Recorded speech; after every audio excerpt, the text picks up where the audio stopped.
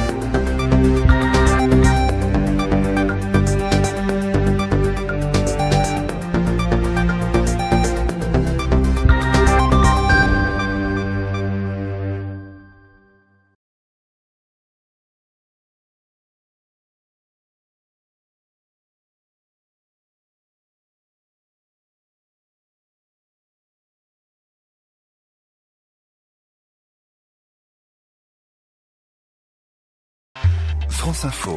Deux points, ouvrez l'info.